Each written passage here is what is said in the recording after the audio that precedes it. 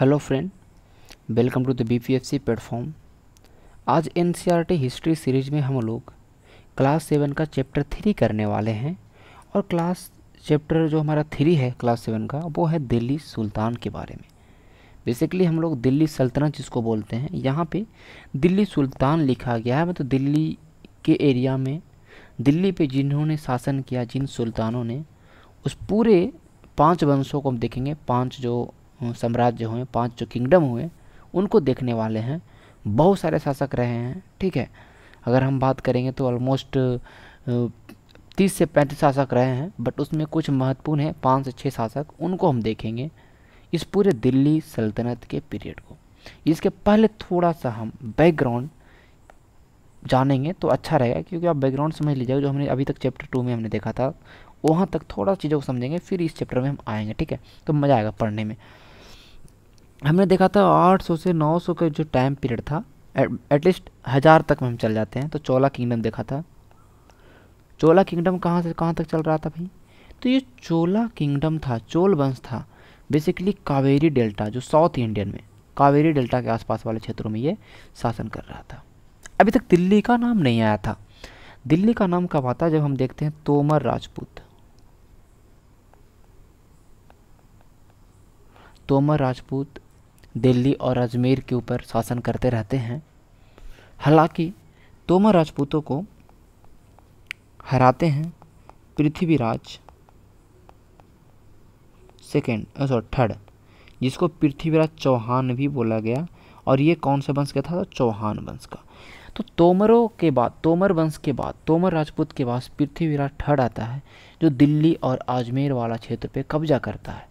But unfortunately 1191 में होता है Tarain war, Tarain battle battle of Tarain, ठीक है? फ़र्स्ट मोहम्मद गौरी, जो कि अगर हम बात करें मोहम्मद गौरी के बारे में जानेंगे थोड़ा सा मोहम्मद गौरी जो कि था कहाँ का? गजनी, अफ़गानिस्तान का। ये आक्रमण करता है दिल्ली, अजमेर वाला क्षेत्रों में मतलब पृथ्वीराज चौहान के एरिया में। हालाँकि फ़र्स्ट बैटल में, ये फ़र्स्ट बैटल ऑफ़ तराइन है, मोहम्मद गौरी हार जाता है। अगले ही साल ग्यारह में सेकंड बैटल होता है तराइन का। इसमें पृथ्वी, पृथ्वीराज चौहान मीन्स थर्ड हार जाता है। और दिल्ली, अजमेर वाले क्षेत्रों पर अगर जो कंट्रोल देखते हैं तो मुस्लिम साम्राज्य की नींव आ चुके हैं। मतलब मुस्लिमों ने, मोहम्मद गौरी ने दिल्ली और अजमेर पर नियंत्रण कर लिया और मोहम्मद गौरी को ही इंडिया में अगर हम बात करेंगे तो मुस्लिम साम्राज्य का वास्तविक संस्थापक भी माना जाता है। बिकॉज़ इसके पहले मोहम्मद गजने भी आता है, जो सत्रह बार आक्रमण करता है। उसका मकसद केवल क्या रहता है? बस लूटना। उसका मकसद केवल यहाँ से धन की प्राप्ति होती है, वो उतना ज़्यादा दिमाग नहीं लगाता। ठीक है?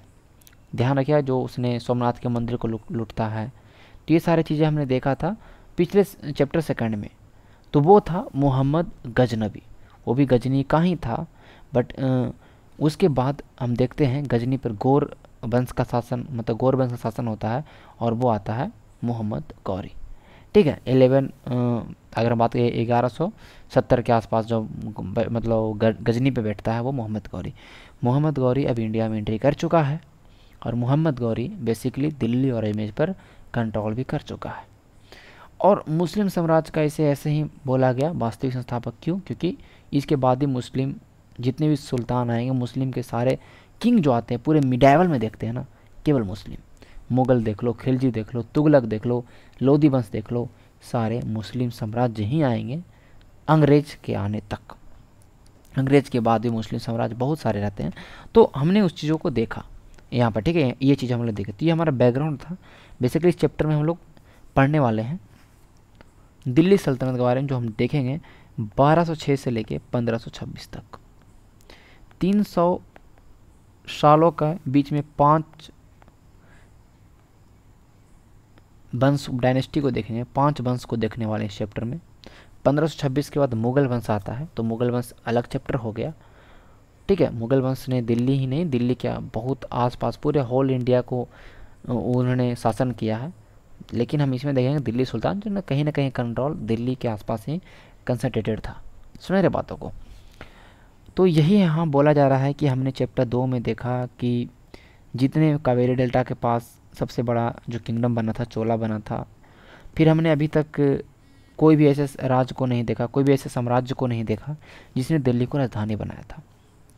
ठीक है, दिल्ली सबसे ज़्यादा अगर दिल्ली का नाम आता है, दिल्ली, अगर हम देखते हैं इतिहास में तो ट्वेल्थ सेंचुरी के बाद, ट्वेल्थ सेंचुरी के टाइम में आता है, जब तोमर राजपूत और चौहान वंश जब आते हैं, तब हम दिल्ली को जानते भी हैं। दिल्ली उससे पहले दिल्ली का नाम भी नहीं जानते थे। ये बोला जा रहा है, ठीक है?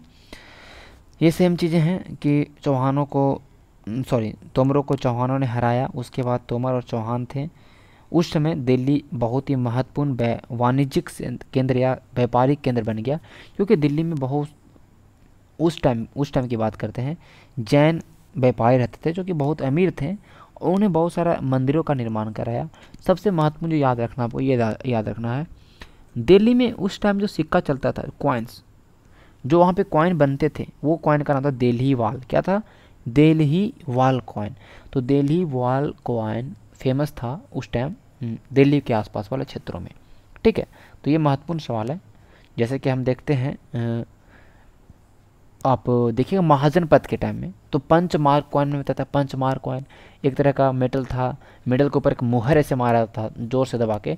तो होता है पंच मार्क, पंच आहत के सिक्के या पंच मार्क कॉइन। तो इसमें कौन कौन चल रहे हैं? दिल्ली वाल कॉइन, ठीक है? ध्यान रखिएगा। कह रहा है कि दिल्ली का ट्रांसफॉर्मेशन किस तरह से राजधानी में हुआ? और जब दिल्ली एक तरह से राजधानी बना था तो उसमें दिल्ली के कंट्रोल में, जो भी दिल्ली पे शासन कर रहा था उससे कंट्रोल में बहुत बड़ा इंडियन सब कॉन्टिनेंट का पार्ट था। दिल्ली हो गया, अजमेर हो गया, पंजाब हो गया, हरियाणा हो गया, उसमें जो भी था, सारे दिल्ली के अंदर में थे। ठीक है, बहुत बड़े एरियाज़ तक। तो इसके बारे में बताया जा रहा है कि सारे स्टार्ट कब होता है? दिल्ली का राजधानी बनना कब स्टार्ट होता है? जब दिल्ली सल्तनत स्टार्ट होता है थर्टीन सेंचुरी के स्टार्टिंग मतलब 1206 में, जब दिल्ली सल्तनत में पहला वंश, गुलाम वंश की स्थापना होती है। ध्यान रखिएगा। अब ये गुलाम वंश कहा गया, भाई गुलाम क्यों नाम था? तो मोहम्मद गौरी जो जीत चुका था अभी दिल्ली को, मोहम्मद गौरी एम जी मोहम्मद गौरी की मृत्यु होती है 1206 में और ये रखता था अपने पास गुलाम। गुलाम का काम था सेवा रख करना युद्ध में साथ जाना, ये था गुलाम। तो मोहम्मद गौरी की अगर हम बात करेंगे तो बहुत सारे गुलाम थे, बट चीज़ों को समझेंगे। तो इसका जो एक गुलाम होता है कुतुबुद्दीन ऐबक मैंने क्या बोला? ध्यान रखिएगा। ये क्या हो जा रहा है। कुतुबुद्दीन ऐबक एक गुलाम है कुतुबुद्दीन ऐबक जिसे कहता है भैया, मत सॉरी मतलब मर जाने के बाद, या मरने के पहले बोला होगा ना, मर जाने के बाद तो नहीं बोलेगा। तो वो उसे मोहम्मद गौरी ने कुतुबुद्दीन ऐबक को दिल्ली का शासन सौंप दिया कि दिल्ली और अजमेर के आसपास का क्षेत्र भैया, तुम करो, कोई दिक्कत नहीं फिर अब गजनी भी इसके कंट्रोल में था। अभी इतना एरिया को जीता ही था। गजनी भी इसके कंट्रोल में था। अफ़गानिस्तान वाला गजनी। तो वो देता है यलदौज नाम का एक गुलाम होता है उसको। ठीक है?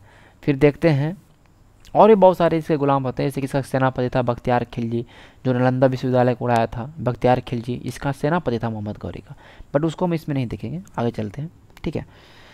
तो गुलाम वंश की स्थापना 1206 में होता है कुतुबुद्दीन ऐबक के द्वारा, जो 1206 से लेकर 1210 तक के ये अब शासन करता है। ठीक है, इसके बाद आता है आराम सा कुछ महीनों के लिए उसका बेटा होता है। फिर उसके बाद आता है इल्तुतमिस जो कि बहुत ही पावरफुल रूलर रहता है इस टाइम में। गुलाम वंश का सबसे अगर हम ताकतवर देखेंगे तो वो था इल्तुतमिश, ठीक है, जो कि करीब करीब 26 ईयर तक शासन करता है 1210 से 1236 तक। आगे हम देखेंगे। The Delhi sultan built many city in the area that we know as the Delhi Delhi सुल्तानों ने बहुत सारे अलग अलग शहर बसाया। उस समय शहर अभी तो हम शहर नहीं बोलते हैं। बहुत सारे ऐसे छोटे छोटे शहर बसाए जो कि पूरे को दिल्ली बोला गया, जैसे कि हौज खास है, ये सीरी है, जहाँ पना है, दिल्ली एक कूना है। ये सारे छोटे छोटे एरियाज़ को बनाया दिल्ली सुल्तान ने, जिसका जैसे मन हुआ उस तरह से बसाते गया, ठीक है? आप देख सकते हो ये सारे। ये याद रखिएगा, ये सब नाम महत्वपूर्ण है। एक टाइमलाइन है पूरा, दिल्ली सुल्तान कौन कौन से दिल्ली सल्तनत पे रहे हैं? जैसे कि राजपूत डायनेस्टी दिल्ली के आसपास के क्षेत्रों पे कब्जा किया था, तोमर था, अनंगपाल था, चौहान है, पृथ्वीराज चौहान है। ये बताया जा रहा है। तोमर राजपूत में देखते हैं कि ये महत्वपूर्ण है, ये दोनों, ठीक है? फिर चौहान में ये दोनों महत्वपूर्ण है, ये ये महत्वपूर्ण है, पृथ्वीराज चौहान। तो बेसिकली ये सब आपको याद नहीं रखना है। याद ये सब रखना है कि अर्ली तुर्किस रूरल मैंने बोला पाँच डायनेस्टी पहला गुलाम वंश यही से बोला गया अर्ली तुर्किस तुर्क से बिलोंग करता था इसलिए बोला गया अर्ली तुर्किस रूरल्स ये हैं गुलाम वंश पूरे क्या है भैया? गुलाम डायनेस्टी। मैं एक ट्रिक देता हूँ, याद रखिएगा। सब कुछ याद रहेगा मैं बोलूँगा। गुलाब या गुल खिले तब सुगंध ले, लो। गुलाब खिले तब सुगंध लो। ये मैंने पाँचों डायनेस्टी को बता दिया, जो कि दिल्ली सल्तनत के नाम से जाने जाते हैं। ये ये बहुत बार एग्ज़ाम में बेसिकली बहुत सारे एग्जामों में पूछा है, क्रम से बताइए दिल्ली सुल्तान, क्रम से कौन कौन से आए थे? पहले गुलाम वंश, गु से गुलाम वंश, खी से खिलजी वंश, फिर तुगलक वंश, फिर सू से सैयद वंश, फिर लो से लोधी वंश। आपके सामने, ये सारे वंश आपके सामने हैं। मैं अब एक चीज़ बताऊँगा कि किसी किसके बारे में आपको क्या क्या याद रखना है। देखिए, इसमें आप चारों याद रखिए। ऑल आर द इंपॉर्टेंट चारों राजाओं के बारे में याद रखना है। इसके बारे में कुछ कुछ कम, लेकिन इसमें सबसे ज़्यादा याद रखना आपको, बलवन के बारे में बहुत ज़्यादा सवाल आता है। इसके बारे में याद रखना है। रजत सुल्तान के बारे में थोड़ा थोड़ा क्योंकि पहली महिला शासका बनी है ये। शमसुद्दीन इल्तुतमिश के बारे में कुछ कुछ याद रखना। है खिलजी वंश में हम देखें, सबसे महत्वपूर्ण याद रखेंगे अलाउद्दीन खिलजी को। सबसे महत्वपूर्ण डेट भी याद रखेंगे इसका, क्योंकि अब हम डेट को याद रखें। मैंने कहा हमने बोला था कि इंसेंट में हम डेट को कम याद रखेंगे, लेकिन इंसेंट के बाद जैसे ही क्रॉस करेंगे मिडाइवल तो मैं जो बोलूँगा उसको डेट कम से कम आपको याद रखना है, ठीक है? तो ये अलाउद्दीन खिलजी का टाइम पीरियड है, जो कि याद रखना है। याद हो जाएगा तीन चार बार चीज़ों को देखते देखते आएँगे। अगर याद नहीं होता तो अपने पास छोटे शॉर्ट नोट्स एक पेज का टुकड़ा लीजिए, उस पर लिखिए। जो जो चीज़ जो जो चीज़ ये नहीं बोल रहे हिस्ट्री कुछ भी अगर याद नहीं होता है तो उसका आप, आप उसको अपने दीवार पे चिपका लीजिए। चार पाँच दस बार देखिए तो खुद याद होगा फिर उसको हटा दीजिएगा। तुगलक वंश में देखेंगे हम लोग मेनली गयासुद्दीन तुगलक मोहम्मद बिन तुगलक को ज़्यादा देखेंगे और फिर एफ़ एस टी को याद देखेंगे। बट लेकिन तीनों महत्वपूर्ण है क्योंकि इसमें महत्वपूर्ण वाले चीज़ लिखे हैं और भी बहुत सारे रहे हैं बट इसमें महत्वपूर्ण वाले ही को लिखा गया ठीक है? सैयद डायनेस्टी बहुत ज़्यादा महत्वपूर्ण नहीं था। इसमें खिजर खान अगर हम देखें जो जिसने सैयद वंश का स्थापना किया था, बस उसको ही देखेंगे। लोधी डायनेस्टी में बहलोल लोधी को देखेंगे, जो स्थापना किया था लोधी वंश का, और सबसे लास्ट और अगर हम बात करें सिकंदर लोधी की देखेंगे, और सबसे लास्ट इब्राहिम लोधी, जिसको हराया था बाबर ने। ठीक है, इसको देखेंगे। आगे चलते हैं, मैंने टाइमलाइन बता दिया जो आपको याद रखने कह रहा है कि finding out about the Delhi sultan. Delhi सुल्तान के बारे में, दिल्ली सल्तनत के बारे में कैसे पता चलता है? भैया, बताइए। कैसे जानकारी पता चलता है? ये बताना है। कह रहा है कि अलदाव हालाँकि जो अभिलेख हैं, क्वाइन सिक्के हैं, आर्किटेक्चर्स हैं, जो भी स्थापत्य कलामंद उन्होंने उस समय जित, जितने बिल्डिंग बने, मस्जिद बने, जो भी चीज़ें हैं अ लॉट ऑफ़ इन्फॉर्मेशन बहुत सारी जानकारी मिलता है इन चीज़ों से। बट स्पेशली अगर हम देखते हैं, सबसे अगर महत्वपूर्ण देखते हैं तो वो हमें इतिहास पता चलता है। वो चलता है इतिहास से। इतिहास, हम लोग हिंदी में इतिहास बोलते हैं और उसे पर्सियन में तारीख बोला गया। क्या बोला गया? तारीख। तो बहुत सारे किताब देखिएगा, उसका लिखा है तारीख फिरोज शाही। तो इस तरह से बहुत सारे आपको किताब देखने को आगे मिलेगा जब हम पढ़ेंगे तो ठीक है? तो बेसिकली उसी इतिहास में अगर बात सॉरी पर्सियन में उसे बोला गया तारीख। क्या बोला गया? तारीख। तो तारीख, बहुत सारे तारीख लिखे गए डेट मत समझिएगा बहुत सारे तारीख लिखे बहुत सारे लोगों के ऊपर, जैसे कि हम देखते हैं बाबर नामा तो बाबर का इतिहास लिखा गया। तो इस तरह से उसमें इतने सारे जो भी स्कॉलर जो विद्वान रहे, उस समय जितने भी उनके दराज दरबार में रहे, उन्होंने फारसी भाषा में लिखा, तारीख लिखा, जो कहीं ना कहीं सुल्तानों के पूरे इतिहास को बताता है। यही चीज़ में बोला जा रहा है, ठीक है? हालाँकि हम देखेंगे कि जो, ये जो तारीख लिखने वाले कौन थे भाई? तारीख कौन लिखता था? तो तारीख लिखने वाले, चाहे तो वो लंड्समैन मतलब कहने का मतलब विद्वान आदमी थे, चाहे सेक्रेटरीज थे, ठीक है एडमिनिस्ट्रेटर थे मतलब प्रशासक रहे कभी रहे, या राज दरबार में रहने वाले रहे, जो कहीं ना कहीं हर एक चीज़ को, जो भी घटनाएँ घटे उनको लिखा, और ये एडवाइज रूलर्स जो भी शासक थे, उसको सलाह देते थे कि कैसे शासन करना है, कैसे आपको चलाना है, ये सब, क्योंकि देखिए, जो भी अभी कैबिनेट काउंसिल ऑफ़ मिनिस्टर होते हैं, क्या करते हैं? वो कहीं ना कहीं एडवाइस देते हैं ना? पीएम को एडवाइस देते हैं या पीएम सब मिल के काम करते हैं। तो उस तरह से ये सारे चीज़ें जो राज दरबार में रह रहे हैं, किसी को कोई डिपार्टमेंट मिला हुआ है सलाह राजा को इस तरह से करिए इस तरह से पॉलिसी लाइए तो ये सारे काम उस समय हो रहे थे, ठीक है? चीज़ों को समझ पा रहे होंगे आप लोग? आगे देखेंगे। और emphasising the importance of just rule just rule मतलब न्याय संगत मतलब जो आप भी शासन करिए, वो न्याय संगत हो, सबको न्याय मिले। उस तरह पर उन लोग ज़ोर देते जो भी कि सबको न्याय मिले, ठीक है? तो द सर्कल ऑफ़ जस्टिस, न्याय चक्र। एक, ध्यान रखिएगा, एक फ़कर ए मुदाविर है, फ़कर ए मुदाविर इतिहासकार हैं। उन्होंने बताया है, तेरहवें सेंचुरी में लिखा है कि न्याय चक्र कैसा था। उसने अपने किताबों में लिखा, क्या लिखा है? कहा है कि a king can not survive without soldier. बिना सैनिक एक राजा सर्वाइव नहीं कर सकता है। And soldier can not live without salary और एक जो सैनिक है, वो बिना वेतन के नहीं रह सकता भैया। Salary come from the revenue collected from the peasant और सैलरी कहाँ से आएगा? तो सैलरी आएगा जो पीजेंट के द्वारा जो रेवेन्यू कलेक्ट होगा, जो भी उस समय किसान हैं, वो अपना राजस्व देंगे। वो जितना उनका उत्पादन होगा, उसे अकॉर्डिंग राजस्व देंगे तो तभी तो सैनिक को वेतन दे पाएगा राजा ना। राजा तो पैसा छाप नहीं रहा। But peasant can pay revenue only when they are prosperous and happy अब भाई, किसान भी है। किसान कब देगा रेवेन्यूज किसान कब देगा राजस्व? जब किसान का भी तो होना चाहिए ना उतना प्रोडक्शन या किसान किसान जब खुश रहेगा, किसान समृद्ध रहेगा, तभी तो किसान देगा राजा को पैसा। राजा को मतलब रेवेन्यू यही बोला। है और ये कैसे होगा भैया? किसान कैसे खुश रहेगा? जब राजा प्रमोट करेगा जस्टिस को और ऑनेस्ट गवर्नेंस को, जब राजा न्याय को और ईमानदारी रूप से प्रशासन को चलाएगा, ईमानदारी रूप से शासन को चलाएगा, तब उनकी जनता खुश रहेंगे। यही बात इसमें है कि न्याय चक्र है ये। अगर अच्छा न्याय करिएगा तो सही रहेगा। ये कह रहा है कि मनुस्क्रिप्ट कैसे बनता था? इसमें चार स्टेज थे। मनुस्क्रिप्ट मतलब कि मनुस्क्रिप्ट जो कि कहीं ना पेज पे लिखा गया लोहे पे लिखा गया, तांबे पे लिखा गया, लकड़ियों पे लिखा गया, वो मनुस्क्रिप्ट बनो तो जो हाथ से लिखा है उसको बोलते हैं Manu script Manu Smriti preparing the paper पहले पेपर बनाओ, उस पर लिखो, फिर उसके बाद melting gold to highlight importance फिर उसको बोला कि जो जो महत्वपूर्ण महत्वपूर्ण चीज़ लिखे हो, उस पर सोना को गला गला के डालो तो वो हाईलाइट करेगा। फिर प्रिपेयरिंग द बाइंडिंग फिर उसको बाइंडिंग करो। ये प्रोसेस था, हालाँकि ये महत्वपूर्ण नहीं है, आगे चलेंगे। करा keep the flowing additional detail in the mind ये कुछ अतिरिक्त जानकारी हैं जो आपको दिमाग में रखने हैं। बोला, भैया, जो ऑथर तारीख के जितने भी ऑथर रहे हैं, वो शहर में रहते थे मेनली दिल्ली में रहते थे, वो शायद गाँव में रहे हैं। They often wrote their history for sultan. उन्होंने अपने इतिहास में हमेशा सुल्तानों के लिए लिखा और वो चाहते थे कि हम सुल्तान के बारे में लिखेंगे। इतिहास सुल्तान ने ये जीता, वो जीता। सुल्तान हमें बहुत ज़्यादा धन देगा, हमें बहुत ज़्यादा इनाम देगा। जैसे मैंने बताया, ब्राह्मण को लैंड ऑफ़ ग्रांट क्यों जाता कि ब्राह्मणों ने बहुत सारे प्रशस्ति की रचना की। जैसे कि बहुत सारे पोइट ने प्रशस्ति की रचना हरिसेन ने किया पहले प्रशस्ति की रचना तो कहीं ना कहीं उसे पोस्ट मिलता था राज दरबार में उन्हें इज़्ज़त मिलता था या उन्हें पैसे भी मिलते थे जो भी उस टाइम था वो चीज़ें। खरा कि these author advise rulers on the need to preserve an ideal social order based on birth right और जितने भी ये आ, कहने का मतलब लेखक रहे हमेशा शासक को जन्म सिद्ध अधिकार और लिंग भेद पर आधारित। किस पर आधारित?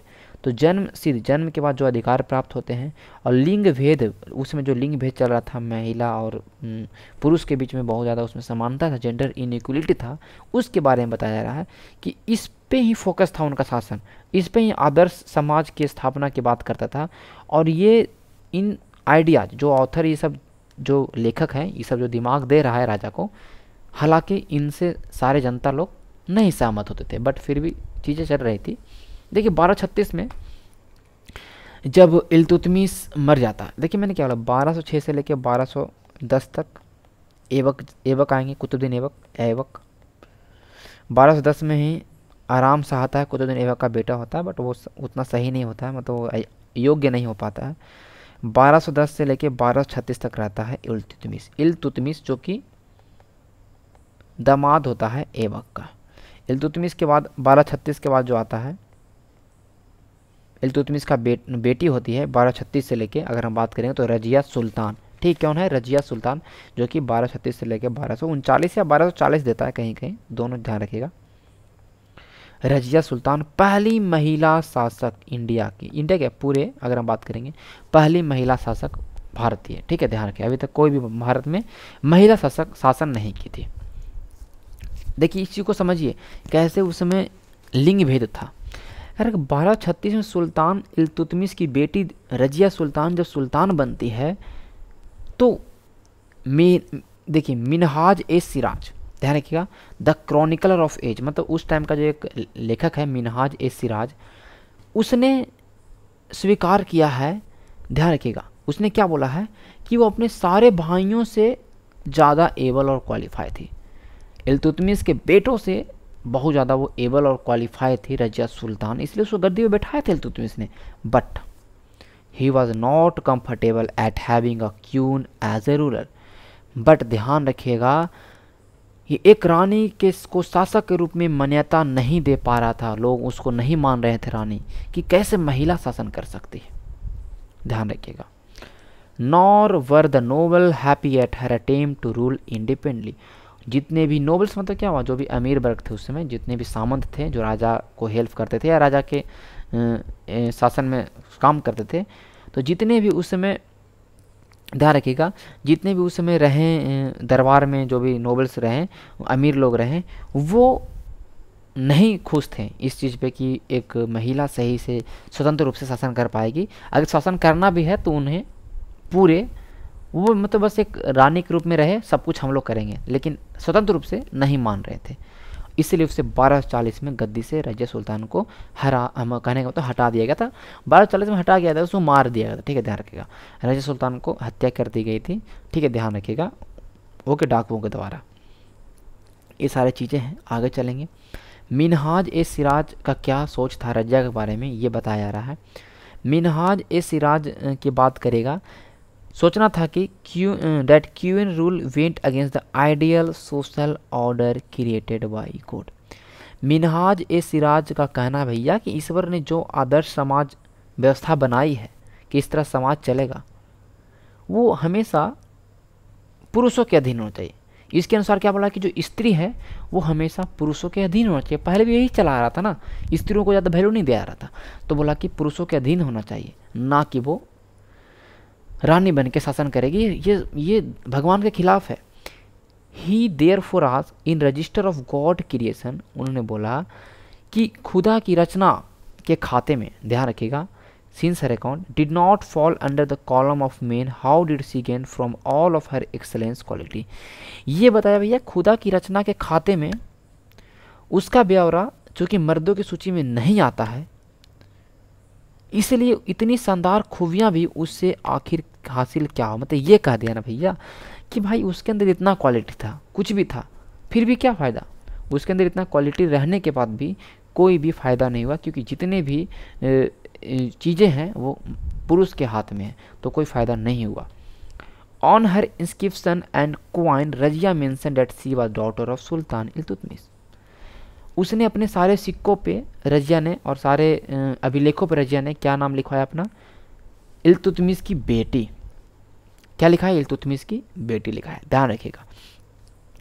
This was contrast to the queen Rudrama Devi कह रहा कि ये एक रुद्रामा देवी रानी है, उसके बारे में देखते हैं, जो काकतीय वंश की थी। वारंगल में काकतीय वंश से हम आगे पढ़ेंगे। तो काकतीय वंश में एक शासन, शासिका थी, रुद्रामा देवी, वो भी महिला ही थी। उसके बारे में कह रहा है कि आंध्र प्रदेश के पास में। उसने भी उसने भाई ऐसा किया ना कि उसने अपने सारे अभिलेखों पर अपना नाम नाम नहीं लिखाया। उसने ये ध्यान रखिएगा, उसने अपने आप को एक पुरुष बताया, अपने आप को सारे सिक्कों पे पुरुष नाम लिखवाया। ध्यान रखिएगा कि लोग समझें कि भाई, एक पुरुष शासन कर रहा है। ठीक है आगे इतिहास में जाना है कि पुरुष शासन किया। तो ये, यही चीज़ बताया जा रहा है। अनदर कह रहा है कि अनदर क्वीन डीडा, जो कि कश्मीर में शासन कर रही थी, उसने ही, इट केम फ्रॉम दीदी। उसने अपने टाइटल को दीदी से दीदा रखा। क्यों? कि हमें जाने कि हम क्या हैं भैया? हम एक शासक हैं, हम शासिका नहीं हैं। देख सकते हो कि जेंडर इनक्वलिटी कैसा कैसा चल रहा है कि एक महिला अपने आप को शासक के रूप में भी डिक्लेयर नहीं कर पा रही और, और लोग उसको मान भी नहीं, नहीं रहे।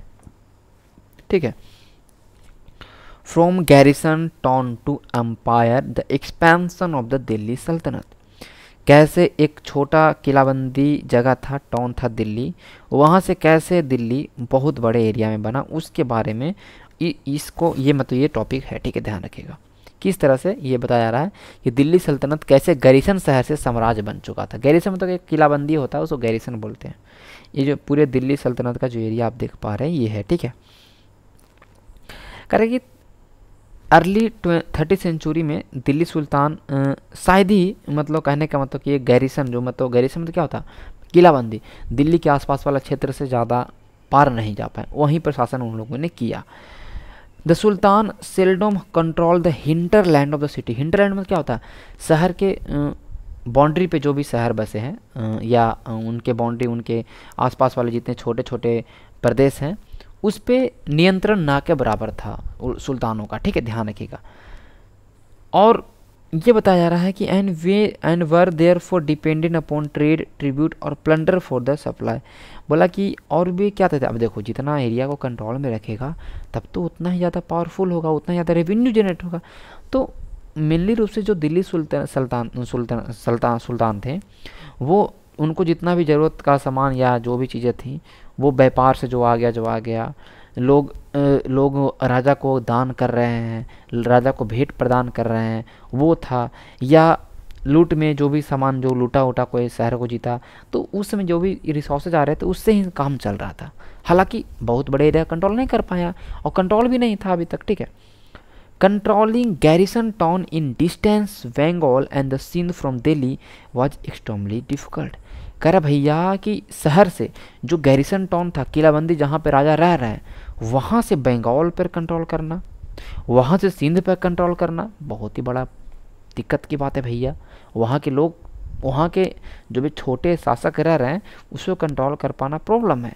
Rebellion war even bad weather could snap fragile communication route कह रहा है कि विद्रोह हो जा रहा है। अब देखो, आसपास दिल्ली का यहाँ पर राजा रह रहा है, यहाँ पे पूरा कंट्रोल है। अब यहाँ पर कंट्रोल करना तो बहुत दिक्कत हो जाएगा। यहाँ पर अगर कोई छोटा छोटा राज्य है, उसको भी दिल्ली के अंदर में रखना है। तो थोड़ा कम्युनिकेशन उसमें फ़ोन है ईमेल तो रह नहीं रहा है ना। तो प्रॉब्लम तो था, ठीक है। यहाँ पर बंगाल में करना है, बंगाल जब देख सकते हैं, बंगाल इधर है तो बंगाल में भी करना बहुत ज़्यादा दिक्कत हो रहा है। तो ये प्रॉब्लम हो रहा था और ध्यान रखिएगा, ये भी सारी चीज़ें हैं कि कभी कभी वहाँ के लोग बगावत कर दे रहे हैं, वहाँ के लोग युद्ध कर ले रहे हैं, ठीक है। मतलब राजा के खिलाफ भीड़ जा रहा है मतलब दिल्ली सुल्तान के खिलाफ। और ख़राब मौसम भी था तो सही से कम्युनिकेशन नहीं बन पाता था। The state was also challenge by Mughal invasion from the Afghanistan and the governor who riven at any sign of the sultan weakness कह रहा कि भैया, जितना मगो, मंगोलों ने भी अटैक किया इसके समय, मंगोल ने भी अटैक किया तो कहीं ना कहीं ये सब दिल्ली सुल्तान, दिल्ली सल्तनत को कमज़ोर कह रहा है। भाई, मैं मैं अभी गुलाम बंस की बात नहीं कर रहा हूँ, मैं पूरे दिल्ली सुल्तान की बात कर रहा हूँ, तीन सौ टाइम पीरियड तीन सौ का जो टाइम पीरियड था उसकी मैं बात कर रहा हूँ। उस समय मुगलों ने भी आक्रमण किया बहुत सारे ऐसे गवर्नर थे, जो कभी अगर राजा कमज़ोर पड़े बस तुरंत हटा देगा। इस, ऐसा भी प्रॉब्लम चल रहा था। अब ठीक है, ये सारी चीज़ें हैं। The sultan barely survive this challenge. शायद ही सुल्तान ने इन चीज़ों को, इस चैलेंज को टैकल कर पाया। Its expansion occur during the reign of Ghiyasuddin Balban और ये सारे जो एक्सपेंसन का काम हुआ, ये दिल्ली सुल्तान एक बड़े एरिया में दिल्ली सल्तनत बढ़ा तो बलबन के टाइम में हुआ था, ठीक है? अलाउद्दीन खिलजी ने भी साम्राज्य को बढ़ाया और मोहम्मद तुगलक ने भी साम्राज्य को बढ़ाया। मैंने बताया कि ये सारे महत्वपूर्ण हैं, ठीक है? ये तीनों राजा बहुत महत्वपूर्ण हैं। तो इन्होंने दिल्ली सल्तनत के जो पूरे एरियाज़ को बहुत बड़ा आगे बढ़ाया, ठीक है? तो first set of campaign along the internal frontier of sultan aimed and consolidating the hinterland of the garrison garrison town.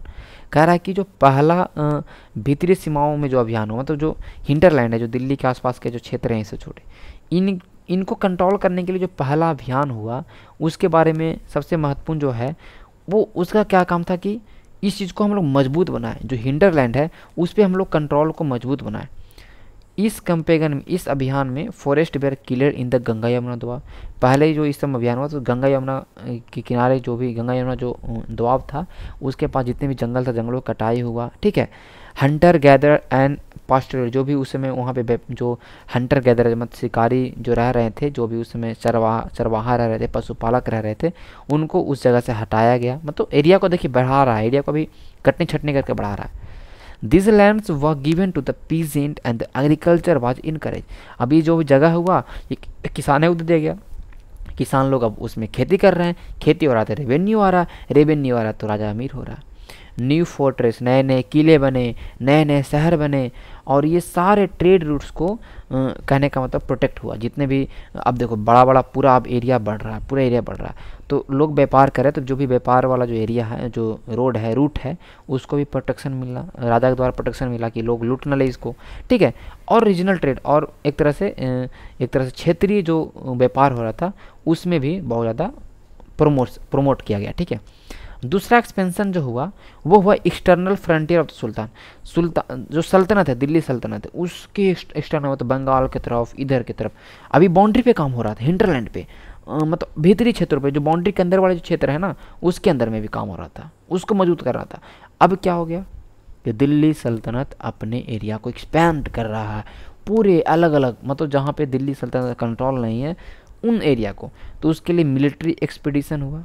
मतलब कि सैनिकों के द्वारा हुआ। पहले सौदर्न इंडिया में स्टार्ट हुआ अलाउद्दीन खिलजी के समय। अलाउद्दीन खिलजी के समय सौदर्न इंडिया में हुआ and culminated with Mohammad Tughlaq. और मोहम्मद तुगलक के समय में कहने का मतलब बहुत ज़्यादा चरम सीमाओं पहुँच गया। मैंने अलाउद्दीन खिलजी के बारे में देखिएगा कि अलाउद्दीन खिलजी जब आप देखिएगा कि उस समय जब साउथ इंडिया में जीत साउथ इंडिया में साउथ इंडिया को जीत जाता है, ठीक है अलाउद्दीन खिलजी। तो आपको देखने को मिलता है। Sultan army capture elephant horses and the slave carrier सुल्तान के जो आर्मी थे, वो हाथी को कैप्चर कर ले रहा है घोड़ा ले ले रहा है गुलाम को कैप्चर कर रहा है और बहुत सारे प्रीसियस मेटल को भी इस कंपेगन में जीत रहे हैं, लूट रहे हैं, ठीक है? By end of Mohammad Tughlaq reign. Mohammad Tughlaq के शासनकाल के अंत में अभी मोहम्मद तुगलक के शासनकाल के अंत अगर आप बात करिएगा तो ध्यान रखिएगा मोहम्मद तुगलक का शासनकाल अंत होता तेरह के आसपास में, ठीक है? तेरह सौ इक्यावन में। कर डेढ़ सौ year after somewhat humbling being मतलब कहे यही सेम चीज़ बारह छः के बाद डेढ़ सौ जोड़े कितना आएगा तेरह सौ इक्यावन तेरह छप्पन। तो तेरह सौ इक्यावन के आसपास के टाइम में कह रहा है the army of Delhi sultanate has march across a large part of the subcontinent Delhi सल्तनत के जितने भी आर्मी थे, उन्होंने हर एक एरियाज़ को जीता।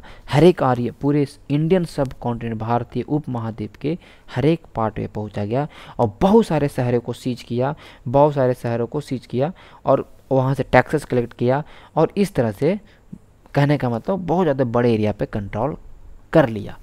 देख सकते हैं, बारह सौ निन्यानवे में गुजरात पहुँच गया, तेरह सौ तीन में चित्तौड़ तेरह सौ एक में रणथम्भौर पहुँच गया। तेरह सौ दो तक के देखिए वारंगल को जीत गया, ककतीय वंश को हरा दिया। देवगिरी अलाउद्दीन खिलजी ने जो जीता था, ठीक है? फिर देख सकते हैं, तेरह सौ यहाँ देखिए, इतनी ज़्यादा एरिया को दिल्ली सुल्तान ने कंट्रोल किया। देख रहे हैं, इतना ज़्यादा इनका कॉम्पेगन हुआ। कुछ फेल्ड भी हुए, कुछ जीता भी, ये सारे हैं। ठीक है, आगे चलते हैं। कुतुब अल इस्लाम मस्जिद, ये मस्जिद है जो आप देखिएगा, Qutb al Islam, mosque and minaret built during the decade of the twelfth century बारहवें शताब्दी के टाइम में ये बना था। This was congregational mosque of the first city built by Delhi sultan. एक तरह से सभा मतलब मतलब मॉस्क्यू मतलब क्या एक तरह से ईसा मस्जिद जहाँ पे लोग आते थे सभा लगता था कांग्रेसन धार्मिक सभा होता था, ये सारे चीज़ बता रहा है। Describe in the Delhi chronicle as a Delhi अकुना इस पुराने दिल्ली को बोलते हैं दिल्ली अकुना पुराने दिल्ली जाइए, दिल्ली में तो मिलेगा पुराना दिल्ली, उसे दिल्ली अकुना बोला गया। तो वहाँ पर ही बना था। कुबत अल इस्लाम मस्जिद। क्या भैया? कुबत अल इस्लाम मस्जिद। इस सब चीज़ों को आप ध्यान रखिएगा, ठीक है? हर एक चीज़ मैं बोल रहा हूँ, बारह की महत्वपूर्ण है तो उसको आपको याद रखना ऐसा नहीं है कि जो भी जो भी उस समय जो भी आर्किटेक्चर हुए, सब लोग आपको याद रखना ठीक है? तो ये क्या है? कुबतल इस्लाम मस्जिद, जो कि बेसिकली भारत का प्रथम मस्जिद है, ठीक है? भारत का प्रथम मस्जिद है, जिसे कुतुबुद्दीन ऐबक ने बनाया था, ठीक है? कुतुबुद्दीन ऐबक ने बनाया था। मैं लिखता हूँ। ऐबक के द्वारा बनाया गया था फ़र्स्ट मॉस्क्यू ऑफ़ इंडिया, ठीक है? इसके पहले मॉस्क्यू नहीं बना ओके, आगे चलेंगे और ये है मस्जिद क्या हुआ? ये मॉस्क्यूज कॉल्ड मस्जिद इन अरबिक अरबिक भाषा में मस्जिद बोलते हैं, मॉस्क्यू इंग्लिश में बोलते हैं। Literally a place where Muslim prostrate in reverence to the Allah Allah की इबादत होती है यहाँ पे। अल्लाह को इबादत मुस्लिम लोग मेनली अल्लाह की आराधना या तो सजदा या तो इबादत करते हैं, घुटने के बल होके। ठीक है? In a congress sorry congressional mosque पूरा कांग्रेसनल जो मैस्क्यू होते हैं मैं तो कहने का मतलब जामा मस्जिद, जिसको बोलते हैं जामा। ठीक है कांग्रेसन मतलब क्या होता है? कांग्रेसन मतलब होता है कांग्रेसन मतलब होता है जमा होना असेंबल होना। तो इसको बोला सॉरी कहाँ चला गया? हम्म। तो ये कह रहा है कि ये जामा मस्जिद, क्या बोला? इंग्लिश में बोला गया जामा, या मस्जिद जामी और जामा मस्जिद। लोग जमा हो रहे हैं। वहाँ पे बहुत सारे मुस्लिम आके नमाज़ पढ़ रहे हैं member of the congregation choose the most respected learned men as the leader कह रहा है कि इस सभा में सबसे महत्वपूर्ण आदमी जो सबसे ज़्यादा विद्वान है, उसको चुनता था, उसको इमाम बनाया जाता था। ठीक है? उसके बाद ही जो इमाम था कभी कभी खतवा मतलब कह रहा हूँ कि खतवा जारी करता था हर फ्राइडे को। मतलब एक रूल था कैसे कैसे एक रीति रिवाज था जो खतवा जारी किया था? ड्यूरिंग प्रेयर कह रहा कि प्रार्थना के समय मुस्लिम लोग मक्का के साइड में अपना फेस करते थे और जो कि इंडिया से पश्चिम में है, ठीक है? इसे बोल रहे थे किबला इस डायरेक्शन क्या बोलते हैं? किबला क्या बोलते हैं? किबला ध्यान रखिएगा, ठीक है? तो ये सारे कुछ इंपॉर्टेंट फैक्ट हैं। दिल्ली सुल्तान ने बहुत सारे मॉस्क्यू बनाए पूरे भारत के अंदर, जो कहीं ना कहीं इस्लाम और मुस्लिम के संरक्षक के रूप में दिखाई देता है, ठीक है? देखिए, मोती मस्जिद है, सिकंदर लोधी ने बनाया था, ठीक है? सॉरी सिकंदर लोधी के समय बनाया गया था? ओके उसके मिनिस्टर के द्वारा। ये कौन सा मस्जिद है? मोथ की मस्जिद मोथ की मस्जिद। ध्यान क्या, ठीक है? कौन है? मोथ की मस्जिद। ये आपका देख सकते हैं? फिगर चार में। ये देखिए, मॉस्क्यू ऑफ़ जमाली कमाली है, जो 1520 में बना था। मॉस्क्यू ऑफ़ जमाली कमाली है। ठीक है लोधी वंश के टाइम में बना है ये, ध्यान रखिएगा। आगे चलते हैं। A closer look administration and the consolidation under the Khilji and Tughlaq तो अब देखते हैं कि किस तरह से खिलजी के और तुगलक के टाइम में जो प्रशासन चल रहा था, वो किस तरह से चल रहा था, ठीक है? उस चीज़ को देखेंगे। The consolidation of the kingdom as vast as Delhi sultanate need reliable governor and the administrator. ठीक है, बता रहा कि जो भाई एक किंगडम मज़बूत कैसे होगा? इतना बड़ा दिल्ली सल्तनत था। तो दिल्ली सल्तनत मज़बूत कैसे रहेगा? कॉन्स्टिट्यूशन में क्या होता है हर एक जगह से मतलब एकदम समेकित एक साथ मतलब कहने का मतलब कि पूरा साम्राज्य यूनिटी बना रहे, या पूरा साम्राज्य में शासन सही से चल पाए, पूरा करने का मतलब कि स्ट्रांग हो पाए। ऐसा नहीं कि कहीं पे टूटा फूटा है मतलब कहने का इट मीन्स हुआ कि कहीं विरोध हो रहा है कहीं कुछ हो रहा है तो इस तरह से नहीं। तो कैसे होगा? इसके लिए हमें विश्वसनीय गवर्नर चाहिए। मतलब हमें नहीं, दिल्ली सल्तनत को। एंड एडमिनिस्ट्रेटर मतलब प्रशासक भी चाहिए। मतलब एक अकेले तो पूरा राजा कर नहीं पाएगा अकेले तो पूरा सुल्तान कर नहीं पाएगा। तो सुबेदार की ज़रूरत है और प्रशासकों की ज़रूरत है। तो देखेंगे कि rather than appointing aristocrat and the landed chieftains as a governor the early Delhi sultan specially Iltutmish favour their special slave purchase for the military service देखिए कि भाई जैसे कि सामंत और जमींदार के अगर हम बात करते हैं, सामंत, जमींदार तो बाद में आया बट इल्तुतमिश के समय क्या था कि सामंतों और जमींदार से अच्छा था कि वो चाहता था कि हम गुलाम खरीद लें और गुलामों के सहारे हम शासन चलाएँ। तो स्टार्टिंग में इल्तुतमिश ने आपको पता है इल्तुतमिश ने, चालीसा की चहलगानी प्रथा अपनाया। चहलगानी प्रथा मतलब क्या हुआ?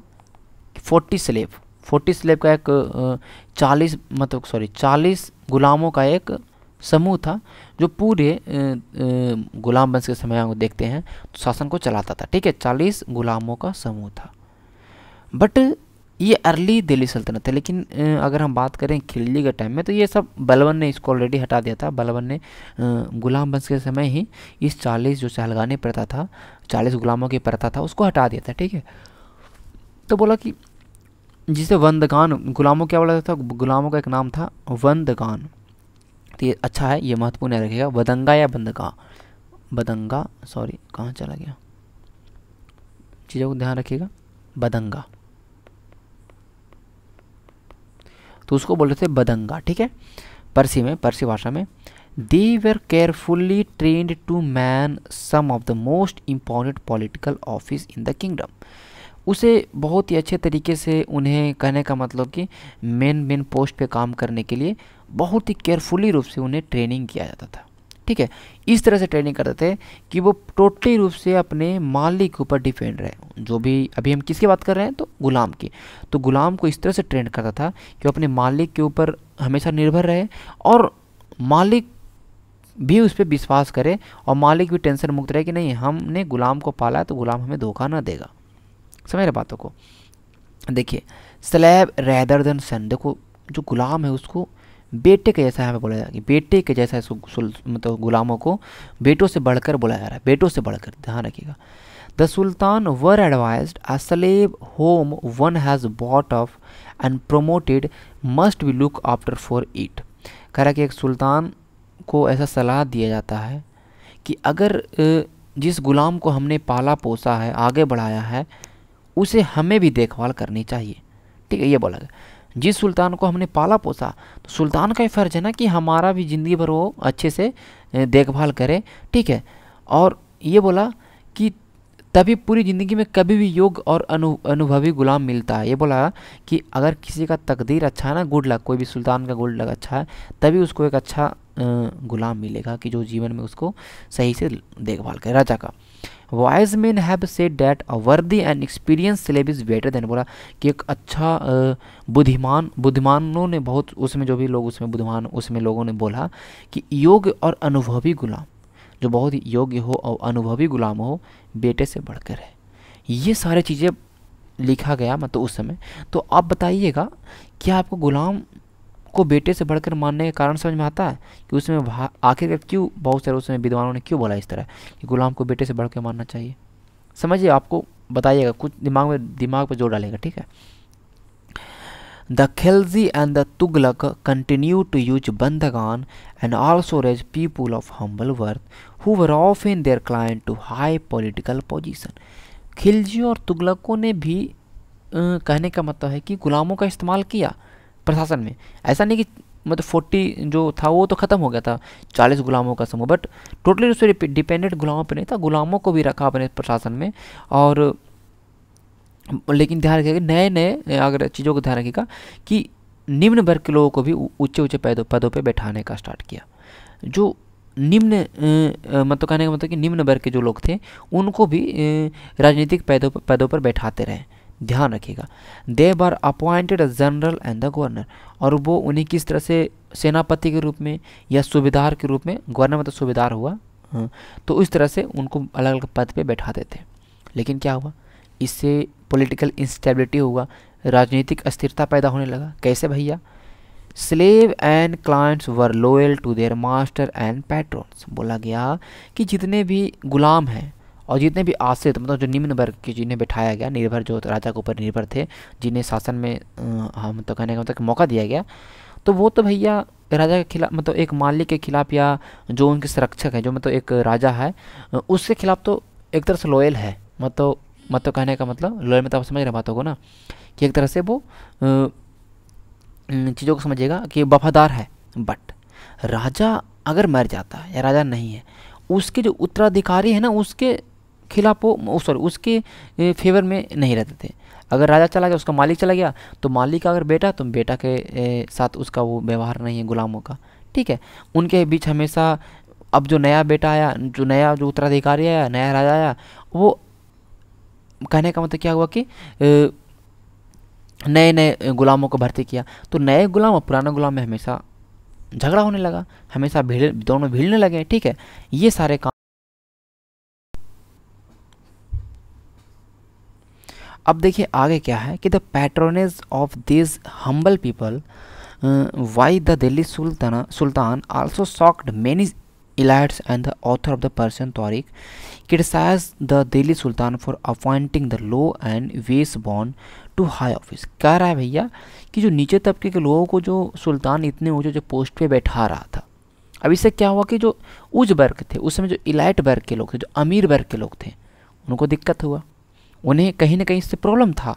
और जो भी तारीख मतलब जो भी इतिहासकार उस समय रहे, उन्होंने इस चीज़ को आलोचना भी किया कि एक निचले खानदान के लोगों को, निचले वर्ग के लोगों को ऊँचे पद पे बैठाना सही नहीं है। बहुत सारे लोगों ने बोला, देखिए officials of sultan Mohammad Tughlaq Mohammad Tughlaq के जो ऑफिशियल्स रहे, जो भी अधिकारी रहे, अधिकारी उनके बारे में क्या लिखा गया है, पढ़िएगा।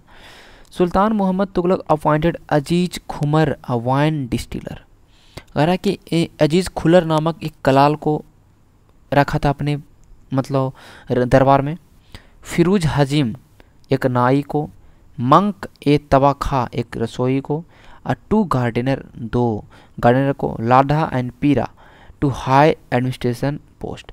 बड़े बड़े देखो ये सब भाई बगीचे मतलब एक गार्डनर है, एक माली है, उसको ऊँचे पोस्ट पे बैठाया। एक नाई है, उसको ऊँचे पोस्ट बैठाया। एक दारू का, दारू बनाने वाला, उसको ऊँचे पोस्ट होना है तो यही बोला जा रहा है कि एक नीचे तबके के लोगों को इतने ऊँचे ऊँचे पोस्ट बैठा रहा है तो कहीं ना कहीं एक इलाइट बर्ग तो प्रॉब्लम होगा ही ना, उनको दिक्कत होगा भाई। ठीक है? Ziauddin Barani a mid fourteen century chronicle reported their appointment as a sign of sultan loss of political judgement and his incapacity to भाई देखो, जियाउद्दीन बर्नी ने क्या कर दिया? एक इतिहासकार है, उसने बोल दिया कि इन छोटे छोटे लोगों को, इन छोटे छोटे लोगों के ऊँचे ऊँचे पद पे बैठाने का मतलब है कि राज जो सुल्तान है, वो एक तरह से उसका जो राजनीतिक जो विवेक है, वो पूरी तरह से नाश हो चुका है और उसका जो शासन करने का क्षमता है, वो भी एक तरह से बेकार हो असक्षम है शासन करने में, इसलिए किसी को भी बैठा दे रहा। ऐसा बोला गया। तो क्या ये बताइए वा why do you think Barani के शायद सुल्तान? सुल्तान ने बर्नी को आलोचना क्यों किया? इससे आपके, इसके बारे में आपका क्या ख्याल है, बताइएगा। ठीक है। लैक द अर्लियल सुल्तान, देखिए, अभी से आप डिस्क मतलब मेंस आंसर राइटिंग आप क्लास सेवन से सीख जाइएगा। इतने चीज़ों को समझाया जा रहा है, ठीक है। लैक द अर्लियल सुल्तान जो पिछले सुल्तान जी जो भी सुल्तान रहे हैं पहले, उनके बारे में कह रहा है। पहले वाले सुल्तानों की तरह खिलजी और तुगलक ने भी मिलिट्री कमांडर को अपॉइंट किया। बहुत अच्छी बात है मिलिट्री कमांडर कमांडर को तो अपॉइंट करेगा। ठीक है as governor of territory of varying size अब जो जो भी सेनापति था, उन सेनापतियों को क्या कह दिया? एक तरह से इलाके का सुबेदार बना दिया। एक एरिया है, मान लेते गाँव है, कुछ भी समझिए, एक एरिया है। यहाँ पर एक सेनापति को रख दिया और यहाँ पे बोले कि आप यहाँ के बन जाओ सूबेदार। क्या बन जाओ भैया? सूबेदार बन जाओ चिफ्टन बन जाओ या गवर्नर बन जाओ, जो भी बोला गया।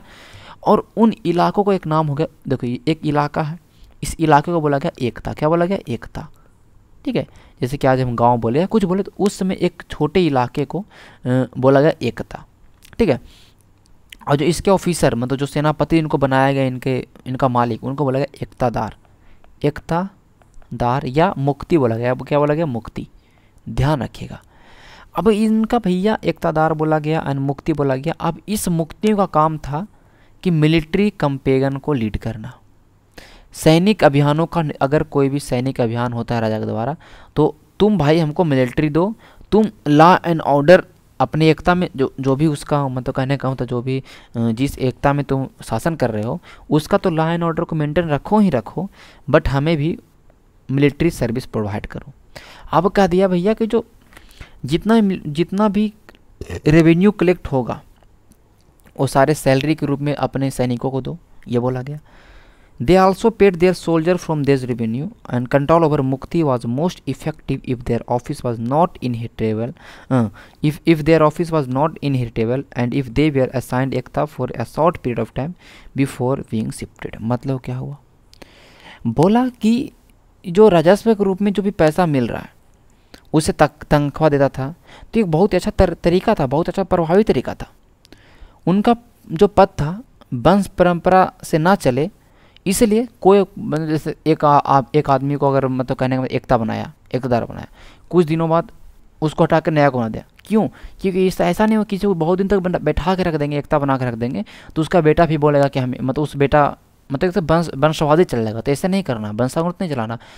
एक भी एकता को शॉर्ट पीरियड के लिए रखता था, और फिर बाद में दूसरी एकता को वहाँ पे अपॉइंट कर देता था। इस तरह से तरीके उस समय चल रहे थे। ठीक है, ध्यान रखिएगा।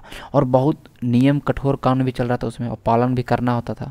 ठीक है जितने भी जितने भी आप रेवेन्यू कलेक्ट कर रहे हैं उसके लिए ऑडिट होता था। ऑडिट में तो कहने का मतलब एक लेखा अधिकारी को नियुक्त किया गया। ध्यान रखिएगा यही लिखा गया accountant were appointed by the state to check the amount of revenue collected by the muqti. ऐसा तो नहीं है ना कि एक एकता दे दिए एक, एक एकता दे दिए एकतादार जो मुक्ति है वो ज़्यादा पैसा कलेक्ट कर रहा है राजा को कम दिखा रहा है और ऐस कर रहा है। ऐसा भी नहीं है भाई ये अकाउंटेंट रहेगा चेक करेगा कि तुम कितना पैसा को क्या कर रहे हो क्या? ठीक है?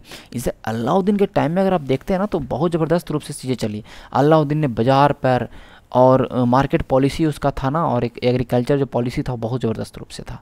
और बेसिकली यूपीएससी और बीपीएससी का स्टेट पीसेस की बात करेंगे तो एग्रीकल्चर पॉलिसी अलाउद्दीन खिलजी वाला बहुत पूछता है। तो ध्यान उस चीज़ों को समझिएगा डिटेल से हम पढ़ाएँगे आगे, बट अभी नहीं। हाँ the Delhi sultan brought the hinterland of the city under their control कह रहा है कि दिल्ली सुल्तान जो भी था, दिल्ली के ऊपर जो शासन कर रहे हैं तो उन्होंने दिल्ली के आसपास वाले क्षेत्रों को तो अपने कंट्रोल में लाया भी साथ साथ दूर वाला एरिया को भी कंट्रोल में लाया।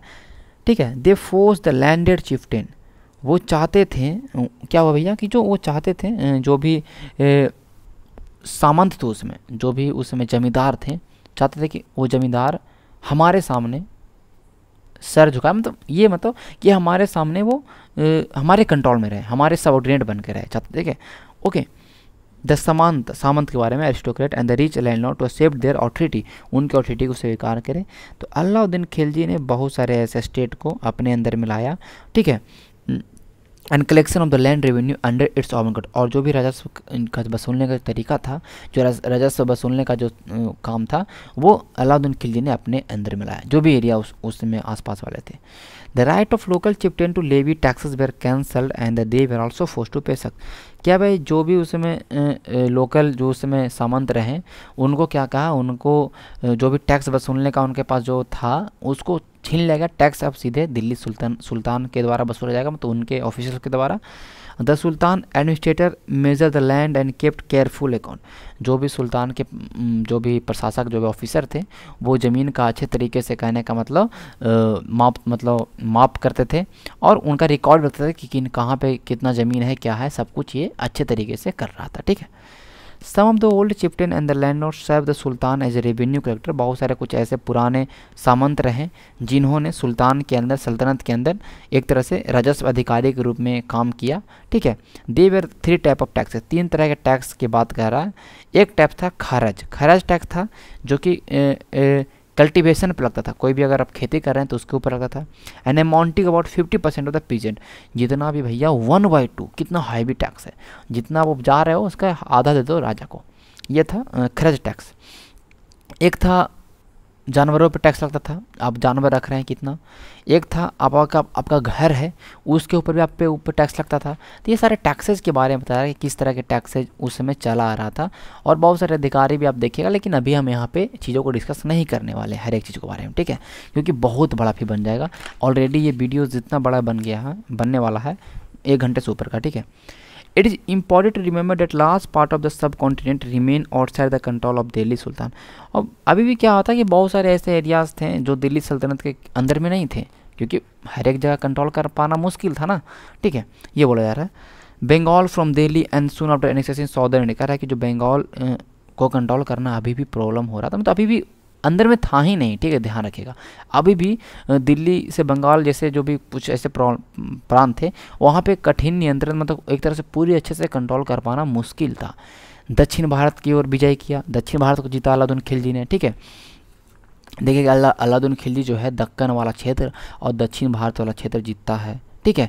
देखिएगा कि वो कहने का मतलब अगर आप देखते हैं तो तेलंगाना का जो आसपास क्षेत्र है वारंगल है वहाँ पे जीतता है उस उस, एरिया को जीतता है। तो ये द्वार समुद्र वाला उस उस एरिया को जीतता है। ठीक है मलिक काफूर जो एक बहुत ही ज़बरदस्त रूप से अलाउद्दीन खिलजी का सेनापति होता है ठीक है उसको हज़ार दिनार में खरीदता है ठीक है नुसरत खां के द्वारा तो वही बहुत ज़्यादा हेल्प करता है अलाउद्दीन खिलजी को दक्षिण भारत के पूरे विजय में। ठीक है ये ध्यान आप लोग रखिएगा ठीक है। आगे क्या कह दिया?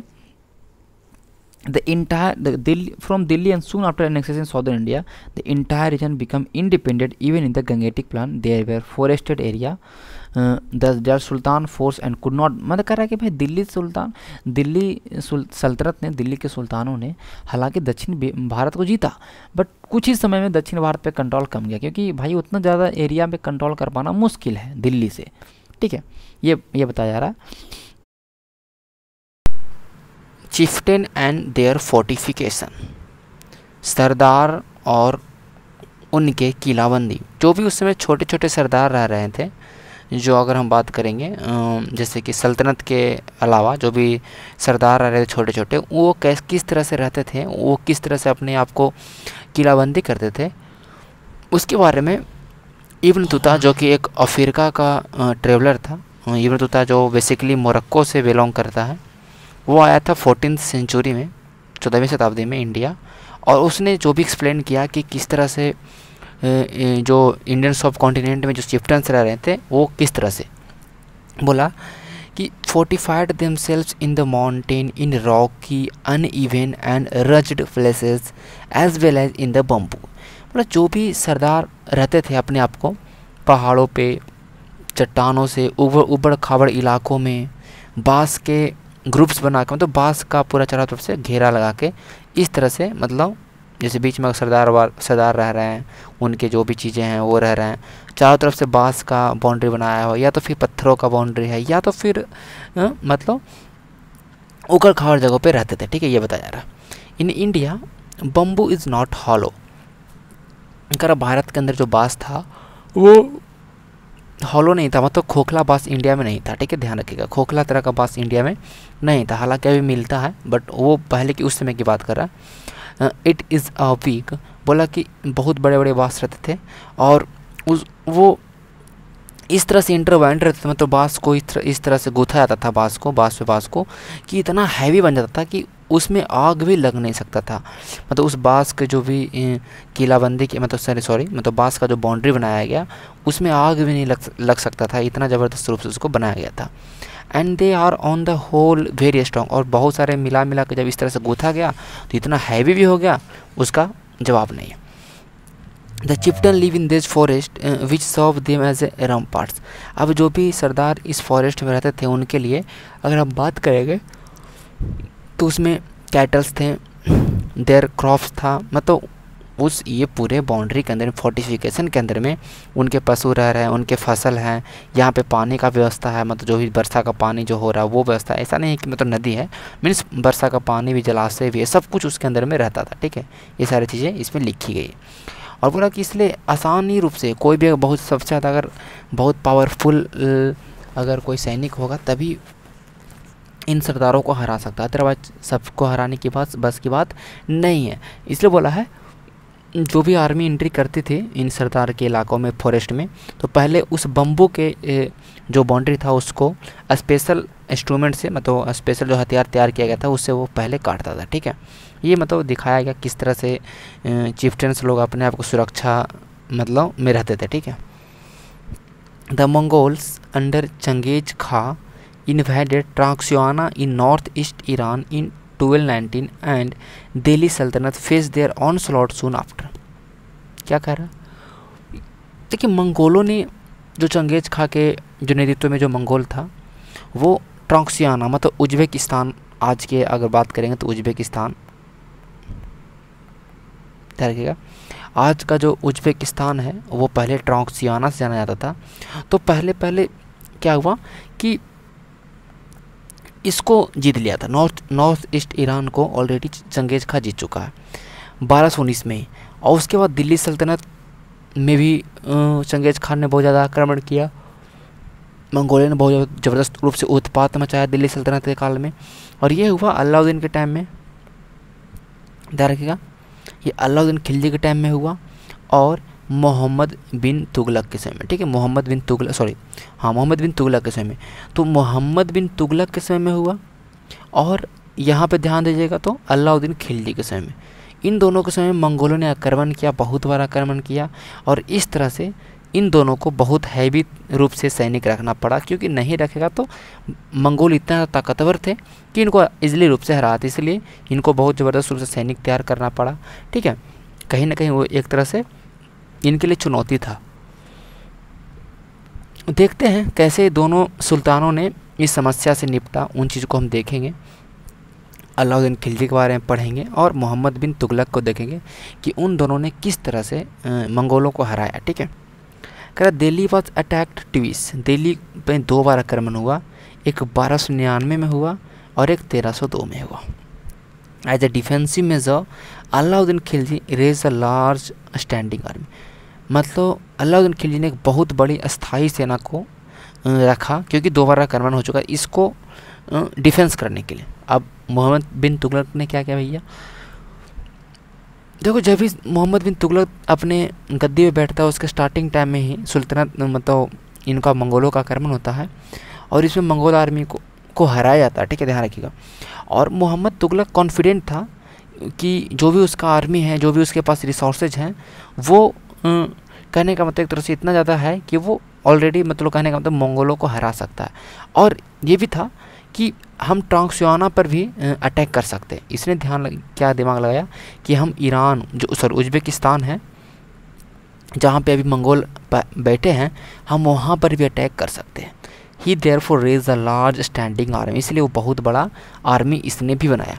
देखिए मोहम्मद बिन तुगलक ने भी आर्मी बनाया उससे निपटने के लिए और इसने भी आर्मी बनाया निपटने के लिए और इसने हरा भी दिया एक बार ठीक है? Alauddin constructed a new garrison town name Siri for his soldier देखिए अलाउद्दीन खिलजी एक किलाबंद गैरिसन मतलब क्या होता है? किलेबंदी एक, एक कह सकते हैं कि एक गढ़ टाइप का। एक शहर बनाया गैरिसन मतलब कि जिसके अंदर में सैनिक उनिक रहते हैं। इसलिए सीरी नाम का शहर बसाया जहाँ पर उनके सैनिक रहते थे, ठीक है? Rather constructing a new garrison town इसने क्या किया कि एक गैरिसन टाउन बनाने से अच्छा इसने क्या किया कि the oldest of the four city of Delhi Delhi में जो सबसे पुराना चार सिटी था दिल्ली का, उसको खाली किया, ठीक है? और वहाँ पर सोल्जरों को बसाया गया। The resident of old city were sent to the new capital Daulatabad और जो भी वहाँ के जो रहने वाले थे, जो भी नागरिक थे मतलब जो भी वहाँ पे लोग रह रहे थे, उनको दौलताबाद भेज दिया गया। ठीक है? दक्षिण के तरफ़ एक नया राजधानी उन्होंने बनाया, दौलताबाद। और दौलताबाद में, दौलताबाद किसने बनाया? मोहम्मद बिन तुगलक ने। और दौलताबाद में किसको भेज दिया? अपने वहाँ पर जो भी रेजिडेंट थे, रहने वाले थे। ठीक है? The soldier had to be fed solar को खिलाया था। This was done through produce collected as a tax from the land between Ganga अभी गंगा यमुना के बीच में जो भी जगह था, उस जगह से जो भी मतलब रेवेन्यू आ रहा है, उससे जो भी पैसेज हैं, उनसे इनका खाना पीना चलता था सोल्जरों का रहना सहना, ठीक है? और ये था फिफ्टी परसेंट ठीक है, कितना परसेंट था? पचास परसेंट अगर आप जितना उपजा रहे हैं, उसका फिफ्टी परसेंट आपको देना पड़ेगा एज ए टैक्स किसको? तो अलाउद्दीन खिलजी का जो भी था, उस समय, ठीक है, ध्यान रखिएगा। Produce from the same area was collected as tax to feed the army यहाँ भी क्या था कि उसी एरिया से या मतलब इस, इनके समय मोहम्मद बिन तुगलक के समय भी उसी एरिया से कहने का मतलब जो भी टैक्सेज जैसे कि जहाँ जिस एरिया में रह रहा, वहाँ से जो भी टैक्सेज है कलेक्ट होता था और फिर वही चीज़ को खिलाते थे, ठीक है? But to meet the need of large number of soldier कह लेकिन आप तक इतना ज़्यादा बड़ा सोल्जर रखा हुआ है इतना बड़ा सोल्जर जो कि हराना है मंगोलों को तो उसके लिए चाहिए भैया बहुत ज़्यादा चीज़ें। तो इसके लिए सुल्तान ने अलग टैक्सेस मतलब अतिरिक्त टैक्सेस बनाया। और ध्यान रखिएगा this coincide with famine in the area ठीक है? ध्यान रखिएगा। और इस तरह से कहने का मतलब कि अलग अलग मतलब कहने का अतिरिक्त टैक्स ये तो इतना टैक्स ले रहा था फिफ्टी परसेंट अब इसने एक एडिशनल टैक्सेस मतलब कहने का सब कुछ किसके लिए हो रहा? है सब कुछ हो रहा है जो भी सोल्जर हैं आर्मी के लिए। और आर्मी क्यों तैयार किया जा रहा है? तो मंगोलों को हराने के लिए, ठीक है? ध्यान रखिएगा। The soldier had to be paid Alauddin choose to pay his soldier salary in cash rather than iqta देखो, सबसे महत्वपूर्ण जो पॉइंट आपको याद रखना है अलाउद्दीन जो था, वो अपने सैनिकों को नगद वेतन दिया क्या नगद वेतन? तुम काम करो भैया, तुमको हम देंगे नगद पैसा। ठीक है? हम तुमको एक, जो कि स्टार्टिंग में क्या था? एकता देना। एक ज़मीन का टुकड़ा दे दिया मतलब कहने ज़मीन दे दिया। यहाँ पर जो भी रेवेन्यू हो रहा है, वो सब रखो। आर्मी को मतलब कहने का मतलब एकता की प्रथा जो थी, वो ख़त्म की, इसने ख़त्म किया। इसने बोला कि हम कैश में पैसा, नगद वेतन देने का स्टार्ट करें, ठीक है? Soldier would buy their supply from the merchant in Delhi and it was thus fear that merchant would raise their price देखिए, जो भी सैनिक थे, उनको कुछ भी सामान खरीदना होता था तो वो दिल्ली के जो व्यापारी थे, उनसे खरीदते थे और उनको ये डर भी रहता था कि जो व्यापारी लोग हैं, वो कहीं ना कहीं सामान का दाम बढ़ा देंगे। तो अल्लाह इस चीज़ को रोकने के लिए क्या किया, जो भी बिक्री का रोकने के लिए क्या किया कि एक ऑफिसर बनाया कि जो इस तरह की चीज़ों को देखेगा कि, कि कोई भी व्यापारी अपना सामान का दाम बढ़ा ना दे। और मर्चेंट जो भी मर्चेंट नहीं इस इस इस तरह से चीज़ों को बेचता था जो रेट है उस रेट से ज़्यादा पैसा लिया तो उसको दंड दिया जाता था। ठीक है? ध्यान रखिएगा। कुल मिला के हम अभी दोनों के पॉलिसी को पढ़ रहे हैं। ठीक है? मोहम्मद मोहम्मद बिन तुगलक भी भाई कैश देगा। इसने बोला कि हम कैश में देंगे सैलरी ठीक है? But instead of controlling prices उसने ये जो पैसा का जो कहने का जो था जैसे कि इसने व्यापार मतलब बाज़ार का जो पैसा बिक्री बिक्री का जो कंट्रोल किया, इसने क्या कि इस चीज़ से अच्छा क्या किया कि उसने टोकन करेंसी चलाया। अब टोकन करेंसी क्या हुआ? धैर्य जैसे कि आज पैसा है ना, जैसे आज जिस तरह से पैसा रहता है, उस तरह से उसने टोकन करेंसी चलाया। अब ये सस्ते मेटल से बनते थे, ये ना कि सोना और चांदी से नहीं था मतलब जो भी उससे मेटल था, उससे बनता था। अब क्या किया कि people in fourteen century did not trust this coin अब क्या था कि लोग उस समय इस सारे कॉइन्स पे भरोसा नहीं करते ये सब हम्म, सोना चांदी का तो है नहीं। कोई भरोसा नहीं था। दे वेर वेरी स्मार्ट बहुत चला हैं। They save their gold and silver coin and paid all the taxes to the state with this token currency अब उन्होंने दिमाग में क्या किया? देखो अभी यहाँ पे टैक्सेस चल रहा है। लोग को क्या रहा है कि जितना जितना का सामान है भैया उतना में तुम बेचो नहीं तो तुमको क्या लगेगा? प्रॉब्लम तुमको सज़ा मिलेगा। बट यहाँ पर टोकन चला दिया। टोकन सिक्का चला दिया। अब टोकन सिक्का सोना चांदी का था नहीं। तो लोग क्या कर कर रहे थे कि सोना चांदी जिन, उनके पास, जिन जिन लोगों के पास था, वो अपना सोना चांदी अपने पास रख रहे हैं और इसी टोकन का इस्तेमाल करके कहने का मतलब कि टैक्स दे रहे हैं। टैक्स मतलब समझ रहे हो कि जो राजा को टैक्स देना है ना तो यही टोकन दे देंगे। चलो, ये भी एक तरह से पैसा ही है। ठीक है? This cheap currency could also भी काउंटर फिटेड इजली और ये ये सब जो सस्ता करेंसी था, इसको डुप्लिकेट भी बनाया बनाया जा सकता था, ठीक है? ये मोहम्मद बिन तुगलक ने ऐसा काम किया था कि इससे उनको प्रॉब्लम झेलना पड़ा आखिर ठीक है? हम पढ़ेंगे डिटेल में इन चीज़ों को बहुत डिटेल में पढ़ेंगे। अभी तो इसमें हम सेवन्थ में देख रहे हैं। अलाउद्दीन का जो प्रशासन था were quite successful and chronicles praise his region for it cheap prices and efficient supply of good in the market जितने भी उस समय लोग रहे, इतिहासकार रहे अलाउद्दीन खिलजी के जो ये प्रशासनिक था आप देख सकते हो, बाज़ार नियंत्रण प्रणाली था, बहुत ही बेहतरीन था। इसलिए सारे ने उनका बड़ाई भी किया और और बहुत अच्छे तरीके से चलता रहा, सस्ता सस्ता सामान सब मिलता था और बहुत अच्छे सप्लाई भी होता था। ठीक है, ये चीज़, इसलिए इसने मंगोल के खतरा से भी अच्छा आसानी तरीके से बचा क्योंकि इनके पास सफिशियंट रिसोर्स थे। मोहम्मद बिन तुलक का जो प्रशासनिक व्यवस्था था, वो फेल हो गया। जैसे कि हिज कॉम्पेगन इनटू कश्मीर वाजा डिजास्टर उसने कश्मीर पर एक तरह से कहने का मतलब कंपेगन चलाया कश्मीर को जीतने के लिए। बट क्या हुआ? वो फेल हो गया। ही देन गया विच प्लान टू इन्वेट अब फिर दोबारा क्या गया कि अब हम टांगसियाना जो उज्बेकिस्तान को करेंगे। बट एंड डिस्पेंड और उस तरह से वो अपने लार्ज आर्मी को वहाँ पे भेजा, ठीक है? Meanwhile his administrative measure created complication इसलिए उसका जो भी प्रशासनिक चीज़ें थी, वो बहुत ज़्यादा कॉम्प्लिकेशन हुआ। द शिफ्ट देखो, अब लोग, पहले लोग दिल्ली में दिल्ली से लोग को भेज देगा कि जाओ दौलताबाद में रहो। तो ये सारा प्रॉब्लम है और टैक्स बढ़ा दिया, ठीक है। गंगा यमुना दबाव में उसमें बहुत ज़्यादा कहने का मतलब कि एक तरह से सुखाड़ भी आया, लेकिन भुखमरी आया। लेकिन और बहुत सारे लोग वहाँ पर, उनके जो भी लोग थे टैक्सेस के मारे, वहाँ पर बहुत सारे लोगों ने विद्रोह भी किया। इस तरह से टोकन करेंसी भी बहुत बेकार था। टोकन करेंसी को बाद में हटाया गया। तो मोहम्मद बिन तुगलक ने जितने भी, मोहम्मद बिन तुगलक एक तरह समझिए कि बहुत अच्छा शासक था। उसने बहुत सारे प्लान्स को सोचा। बट अनफॉर्चुनेटली उसने जितने प्लान को सोचा, सही से एग्जीक्यूट नहीं हो पाया। और इसलिए मोहम्मद बिन तुगलक का जितना भी आप देखिएगा कि कहीं ना कहीं एक तरह से अनसक्सेसफुल हुआ। बट इसका सोच बहुत था। हम आगे देखेंगे मोहम्मद बिन तुगलक के बारे में डिटेल से पढ़ेंगे। अभी आगे के चैप्टर में नहीं मतलब हम हिस्ट्री में पढ़ेंगे। जो हमारा हिस्ट्री का चल रहा है उसमें हम चीज़ों को देखेंगे।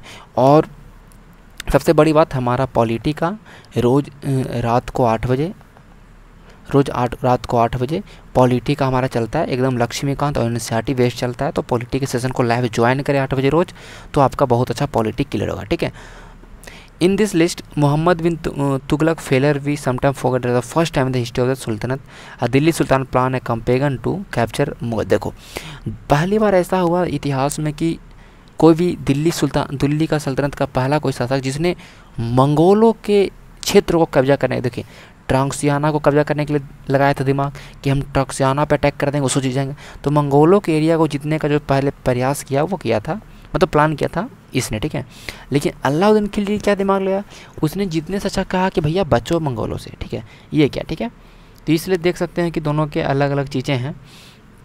The sultanate in the fifteen and sixteen century. पंद्रहवीं और सोलहवीं शताब्दी में मतलब पंद्रह सौ से चौदह सौ लेकर सत्रह सौ के बीच में, कैसे कैसे, किस तरह से दिल्ली सल्तनत रहा, इसके बारे में डिस्कस करेंगे, ठीक है? कर टेबल वन देखिए तो हाँ तुगलक के पास सैयद डेनेस्टी आता है और लोधी डेनेस्टी आता है, मैंने आपको बताया था, गुल खिले तो सुगंध लो, ठीक है?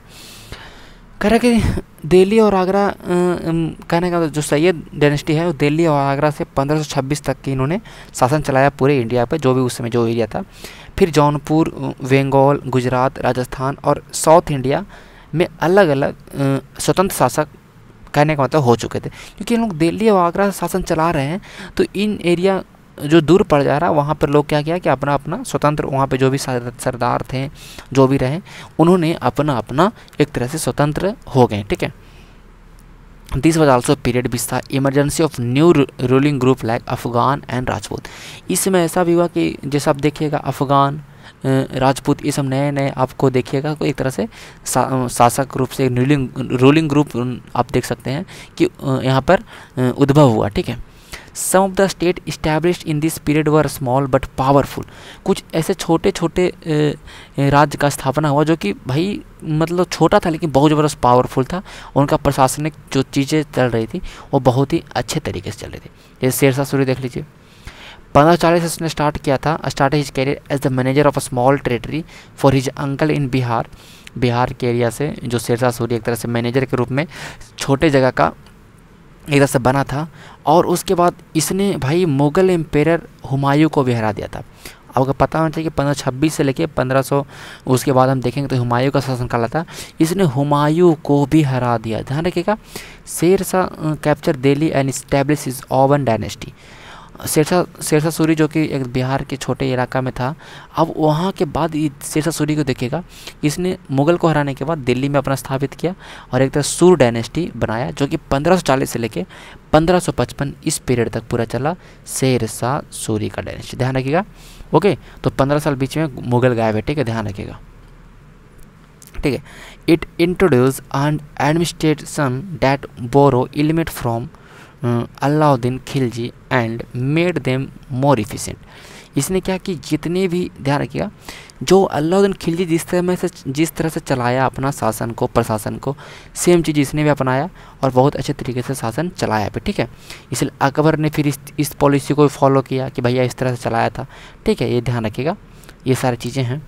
The three orders and the peace of God knight and the crusade तीन आदेश peace of God knights and the crusade धर्मयुद्ध ये सब सारे धर्मयुद्ध के बारे में है। The idea of three order was first formulated in the France in the early eleven century. ग्यारहवीं शताब्दी के पहले में अगर देखेंगे कि ध्यान रखिएगा कि थ्री ऑर्डर्स एक जो आइडिया था वो फ्रांस में बना। इसमें जो जो हमारा समाज था उस समय उस, उस फ्रांस का वो तीन भागों में बटा हुआ था। दो झोपड़े वैसे लोग जो प्रार्थना करते हैं वैसे लोग जो लड़ाई करते हैं ठीक है? और वैसे लोग जो ज़मीन ज़मीन पर खेती करते हैं। ये सोसाइटी, थ्री ऑर्डर जो सोसाइटी था चर्च के द्वारा भी मतलब बहुत ज़्यादा सपोर्ट किया गया। और एक तरह से एक नया ग्रुप बना इस तरह से, ठीक है? इस तरह से एक नया ग्रुप बना, योद्धा ग्रुप जिसे बोला गया, नाइट्स। क्या बोला गया? Knights. The church patronize this group and use them to propagate the idea of peace of God और देखो, ये जो नाइट ग्रुप था, ये क्या क्या भैया? कि ये चर्च ध्यान रखिएगा, जो चर्च था ध्यान कहाँ चला गया? ओके। जो चर्च था तो चर्च में जो ग्रुप चर्च का जो, जो मतलब जिस ग्रुप को चर्च ने संरक्षण प्रदान किया वो ग्रुप था नाइट ग्रुप। नाइट ग्रुप का काम क्या था भैया कि इस आइडिया को जो पीस ऑफ़ गॉड ठीक है पीस ऑफ़ गॉड के जो आइडिया है उसको हम लोग क्या करेंगे उसको चीज़ को बढ़ा प्रोपग्रेट करने का काम इसने किया ठीक है। The attempt was to direct barrier away from the conflict among them self and send them instead of compare the Muslim कह रहा है कि इसका क्या अटेम्प्ट था? कि निर्देश दो। जो भी योद्धा लोग हैं उसको निर्दे, निर्देश दो कि अपने आप में नहीं लड़ो और इस और क्या करें कि मुस्लिमों के खिलाफ कंपेगन करो जो जो जेरूसलम था ध्यान रखिएगा। जो जेरूसलम जेरूसलम जो कि अगर ध्यान रखिएगा, जेरूसलम के बारे में देखिएगा, अभी बहुत ज़्यादा ये न्यूज़ में है, जेरूसलम और फिलिस, फिलिस्तीन का जो मुद्दा है इसराइल का, वो बहुत ही इसका बहुत बड़ा कहानी रहा है। इसके ऊपर हम वीडियो बनाएँगे, फोर्टी या फोर्टी फाइव मिनट का टाइम लगेगा, बहुत सारे वीडियो यूट्यूब पर ऑलरेडी आ चुके हैं, बट मैं भी बनाऊँगा इस पर चीज़ें समझाऊँगा वो किस तरह से होता है। तो ये कहानी उस समय की, जेरूसलम के बारे में बता रहा है कि जो जेरूसलम को जो कैप्चर कर लिया था मुस्लिमों ने, उसके बारे में कहा गया कि जाओ जेरूसलम जो कैप्चर किया मुस्लिम उसके खिलाफ करो। इसलिए बहुत सारे एक तरह से धर्म धर्म युद्ध हुए इस इस इस इस चीज़ को लेके, ठीक है? ध्यान रखिएगा। Originally this king this knight did not belong to the class of noble but by the end of eleven century France Latin Germany humble origin of this very were forgotten by twelfth century nobles also wanted to know knight ये बताया जा रहा है कि हालाँकि ये जो भी आप ध्यान रखिएगा ये जो नाइट्स थे, वो ज़रूरी नहीं था कि वो बहुत नोबल क्लास से थे। लेकिन हम देखते हैं कि एलेवन सेंचुरी के इंड में फ्रांस में, फिर उसके बाद जर्मनी में देखते हैं कि कहीं ना कहीं ये इनको जो भी सब वेरियस थे, इनको भुला दिया गया लोगों के द्वारा। बट ये चाहते थे, जो नॉवेल्स थे, चाहते थे कि इनको भी एक तरह से नाइट बोला जाए नाइट्स बोला जाए, ठीक है? ध्यान रखिएगा। तो ये कुछ ऐसे बीच में हमारा रहता है, एक ये जो लास्ट में हमारा, इसको भी समझना चाहिए। ये वर्ल्ड हिस्ट्री से हमेशा ज़्यादा संबंधित रहता है। ओके तो ये सारे कुछ क्वेश्चन हैं, आपको बनाना है। ये बहुत अच्छा चैप्टर है। तो इसको अब एक जितने भी सवाल हैं, आप पूरे को बनाइएगा खुद से। और पहली बार मैं जो आपको ध्यान रखिएगा, एक आप, एक एक बार आप क्या कर रहे होंगे, एक बार आप खुद से पढ़ रहे होंगे एन को, एक बार मेरे वीडियो के एन को देख रहे होंगे, दो बार अगर तीसरा बार आप करिएगा, तीसरा बार आप इसको क्या करिएगा कि नोट्स बनाएगा ठीक है, पूरे चीज़ों को नोट्स बनाइएगा, एक एक चीज़, एक एक पॉइंट को शॉर्ट नोट्स बनाएगा ज़रूरी नहीं कि पूरा भर दीजिएगा शॉर्ट नोट्स आपको बनाने हैं, जो आपके एग्ज़ाम में बहुत ज़्यादा काम देगा, ठीक है तो इस तरह से हमने चैप्टर तीन को ख़त्म किया, आगे हम लोग जाएँगे चैप्टर फोर में, ठीक है, इस तरह से हमारा क्लास सेवन भी ख़त्म होगा, फिर हम चीज़ों को आगे क्लियर करेंगे, ठीक है।